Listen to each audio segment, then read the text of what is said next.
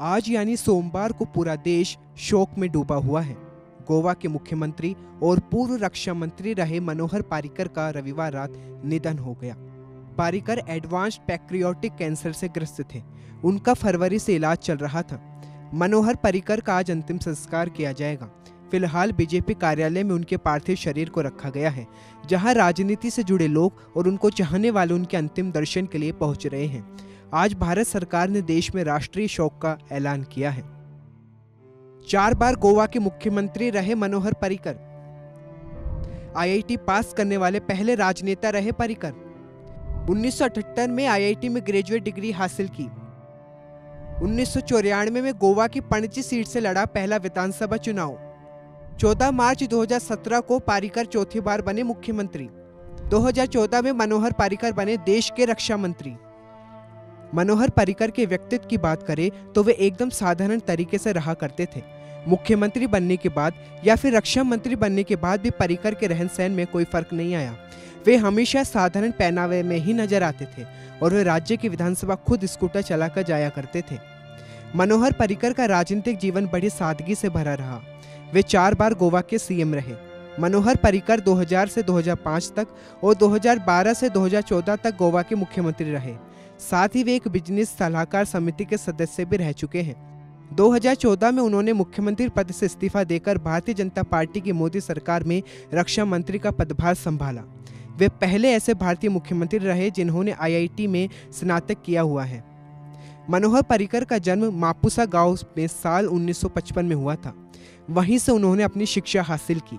अपनी स्कूल पूरी करने के बाद मनोहर परिकर मुंबई में भारतीय प्रौद्योगिकी संस्थान में दाखिला लेने चले गए। और यहाँ से उन्होंने अपनी इंजीनियरिंग की पढ़ाई पूरी की। बात करें मनोहर परिकर के राजनीतिक सफ़र की तो वे स्कूल के दिनों से ही राष्ट्रीय स्वयंसेवक संघ से जुड़ गए थे। उन्होंने अपनी पढ़ाई के साथ ही आरएसएस की युवा शाखा के लिए काम करना शुरू कर दिया था।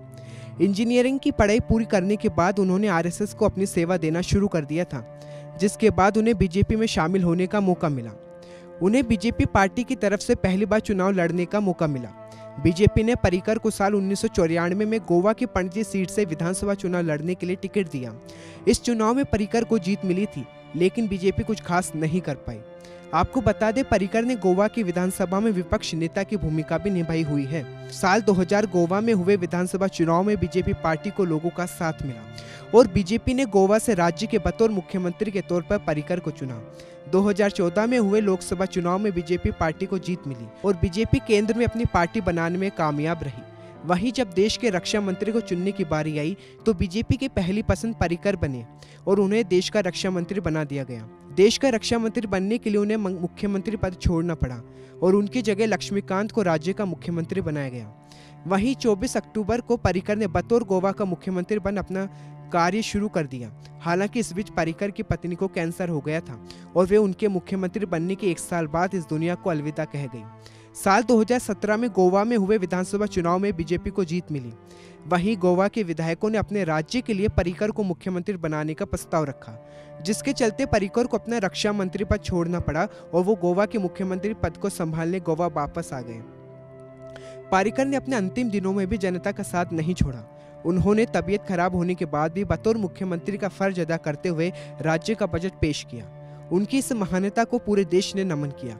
और आज भी पूरा देश उनको नमन कर रहा है। Special desk Navtesh TV.